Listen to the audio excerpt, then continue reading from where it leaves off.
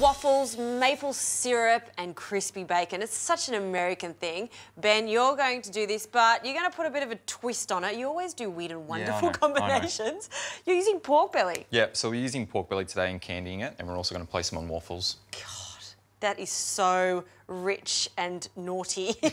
All right, what do we do? Well, I'm going to get started, so we might get you to halve some of the apples and then just finally slice them. Ben, where do you get all your inspiration for these weird and wonderful flavour combinations? Um, to be honest, I just pick an ingredient I really want to work with. Yeah. going to do a whole lot of research into everything that pairs really well, and then it's just pretty much trial and error from there.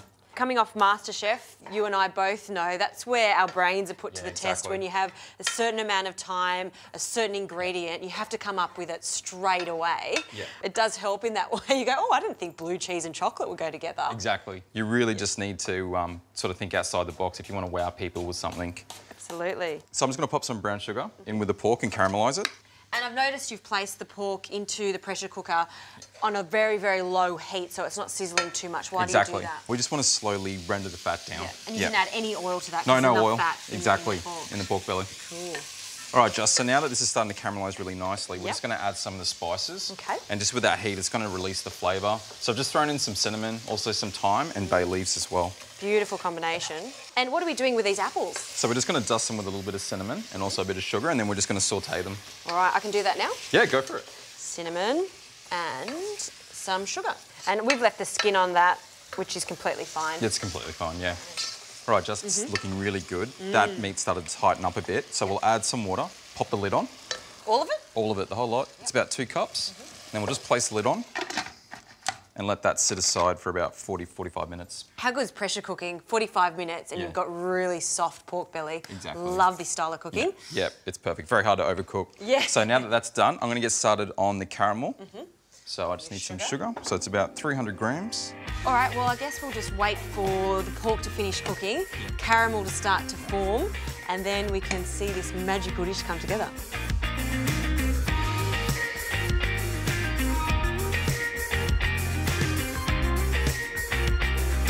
So the pork's actually done at the moment. So we've just put the caramel back onto heat. We're going to take it a little bit further and then add the cream.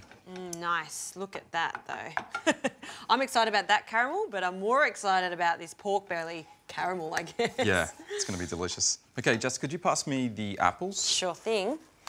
There you go. Jeez. So that's in a separate pan. Cold pan again? Yep, cold pan, and then just whack it on the heat. smells so good with that cinnamon. Yeah. And so now that this caramel is warming up, it's getting that nice deep colour. Yep. We're just going to add the cream now. Sure, I'll pass that to you. So just some pure cream. A little bit more. We just need about one and a half cups. There you go. Perfect. Ooh. This does seize and it's totally normal when it comes to caramel, Yep. but you'll see the sugar start to melt in and blend Yeah. with that cream, become really, really luscious. So we'll just keep an eye on the apples as mm-hmm. well. Just want to make sure that you don't overcook them. You still want a bit of texture. Nice, yeah.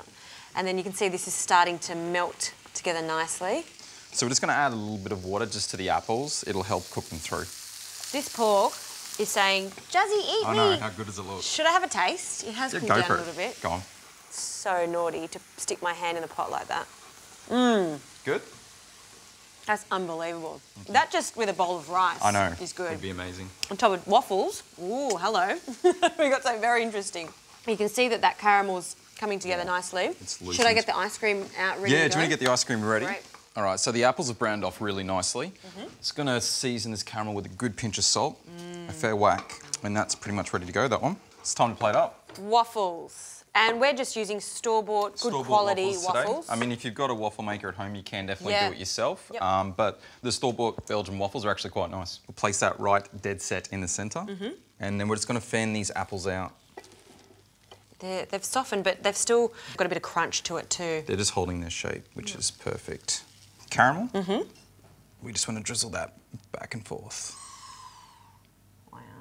Wow. It's time to throw some pork on it.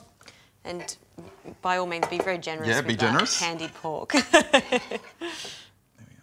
almost the taste of it, it's still meaty, but almost tastes like little bits of candy, hence the name of it. Definitely. It loses the strong pork flavour. Exactly. And then your signature vanilla bean ice Of cream. course, the ice cream to finish it all off. Who doesn't love vanilla bean ice cream? Just place that on top. All right. And that is ready to go. All right, so a little bit of waffle, a little bit of apple, Apple. and it's piping hot, so mm-hmm. that delicious cold ice cream on top. Yeah, we'll just bring it together. This is probably the weirdest dish I have ever tasted in my life. I can definitely say that, mm-hmm. but it's wonderful. It feels like I shouldn't be eating this. I shouldn't be eating pork belly on waffles with ice cream, but you've done it again, Benny. Good on you. High Thank you so five.